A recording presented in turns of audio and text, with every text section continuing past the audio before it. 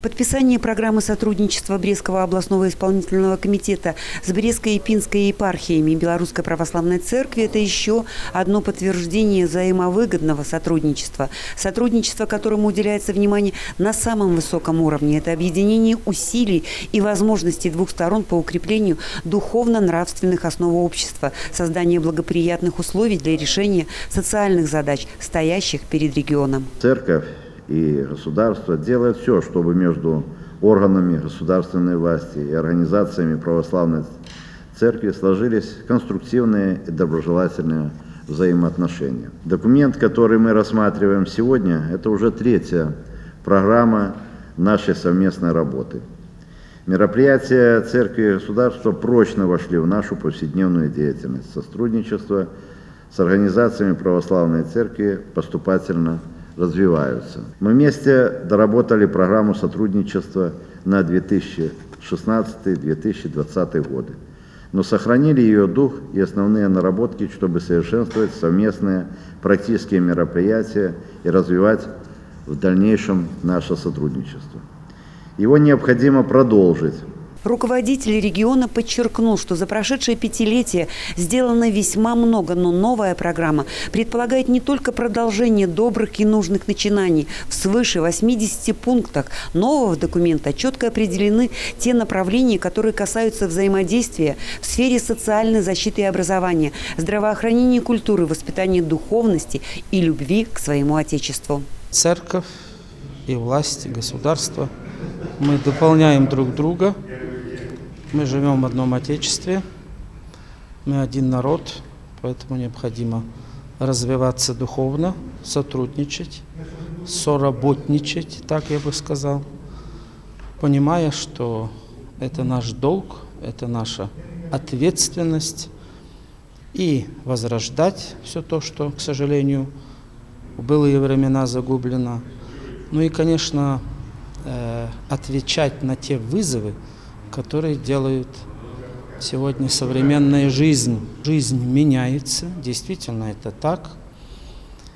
Люди также меняются, поэтому надо делать все для того, чтобы люди менялись в лучшую сторону, чтобы люди духовно совершенствовали, чтобы помнили свое прошлое, потому что без прошлого нет будущего. Мне часто задают вопрос такой, на какие средства будете существовать? Я говорю, на, мы не будем не на средства, мы будем существовать на добрых делах тех людей, которые захотят прийти и помочь.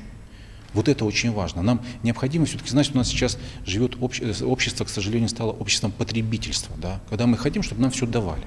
А мы предлагаем людям самим принимать участие в знании своей культуры. Потому что, опять же, ты поедешь э, в какую-то другую страну, тебя спросят, «Э, ты откуда? Я из Беларуси. Расскажи о своей стране, расскажи о своем городе, расскажи о своей семье.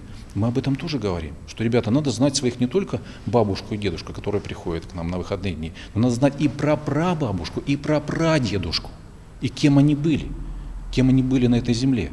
Поэтому это все тоже, это все тоже социальная работа. Почему? Потому что если мы будем знать о своих корнях, мы будем любить свою землю, мы будем любить свою родину, мы будем любить свою Беларусь. И ради нее мы горы перевернем. На встрече отмечалось, что многие двусторонние мероприятия стали традиционными. Востребованные и известные экспедиции «Дорога до святынял», яркая интересная выставка «Ярмарка Брест православный». Общественный резонанс вызвал четвертый визит патриарха Московского и всея Руси Кирилла. В совместной молитве с предстоятелем каждый пришедший думал о своем, но все вместе просили о мире для себя, для своих детей и внуков. Главным, что неоднократно подчеркивали на встрече все выступающие, и что отражено во всех пунктах пятилетнего программного документа «Возрождение духовности в обществе» в каждом из нас. Сегодня безнравственность заворачивается в очень красивые обертки и преподается как норма жизни. Этого не должно быть, ведь Христос говорит, что «я вчера, сегодня и завтра тот же». Э, поэтому ничего не должно меняться в нравственности. Это самое главное. Если человек будет нравственным, если он будет ответственным за свои поступки, то он будет человеком везде. Будь он в церкви, будь он на каком-то предприятии, будь он на работе, будь он за рулем. Этого не должно быть. Мы должны быть людьми. Об этом мы должны всегда помнить.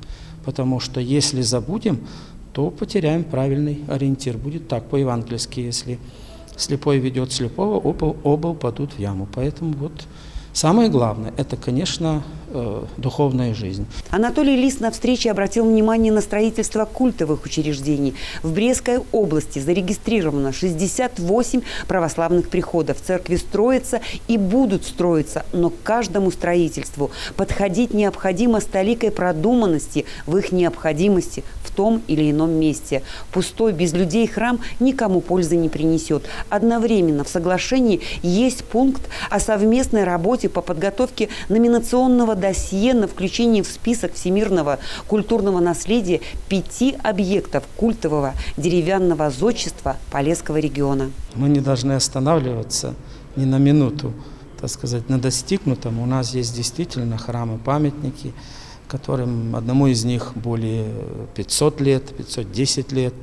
Вот, есть, которые меньше, 300, 200 лет. Вот. Но э, они строились однажды людьми. Вот, прошли годы, и эти храмы стали вот достоянием не только нашего Отечества, но и мировой культуры. Это место для молитвы, место для соединения друг с другом, место для соединения с Богом.